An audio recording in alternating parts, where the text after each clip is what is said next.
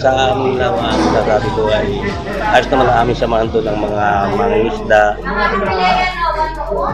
Meron kaming bayan ng katapusan ng Miyerkules ng buwan. At maraming mga nakiksama sa aking mga kasama sa lawa.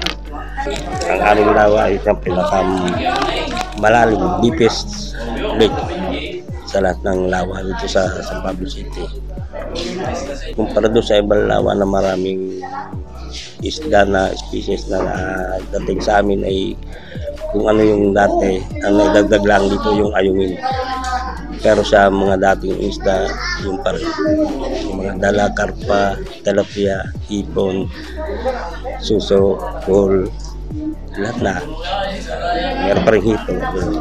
Yung mga kasama sa lawa, hindi nakikisa sa paglilinis. Lalo na yung mga illegal at saka yung mga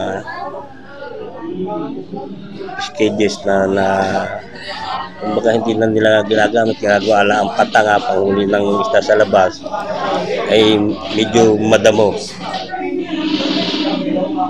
Pinababayaan na lang magdamo tapos yun na nga mga plastic na nagagaling sa Rizal na pag malakas ang ulan ay siya pumupunta sa lawa ay napaka-importante nito dahil dito na sila kumukuha ng mga pangulam, pagkabuhayan, lalo na sa aming mga mangisda, meron kaming kabigyang palaisdaan.